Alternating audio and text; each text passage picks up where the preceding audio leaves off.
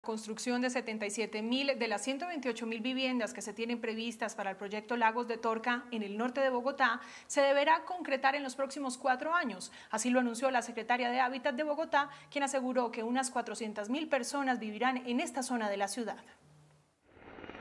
El megaproyecto que tendrá 1.800 hectáreas de barrios con parques, avenidas nuevas y algunas extendidas, una alameda de 15 kilómetros, un parque metropolitano de 150 hectáreas y puntos de conexión con Transmilenio y el Regiotram de Occidente, será uno de los puntales para la reactivación económica de la ciudad.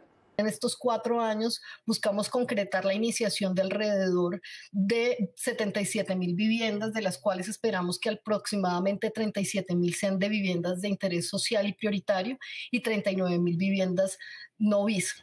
Las obras públicas no se financiarán con recursos del distrito, sino con base en los derechos que deberán pagar para construir las edificaciones, propietarios y desarrolladores por 4.5 billones de pesos.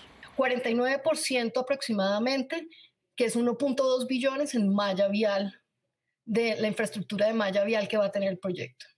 Uno segundo, que es el 37%, que es casi un billón de pesos en infraestructura de acueducto alcantarillado y la infraestructura de restauración, reconformación y reforestación ambiental.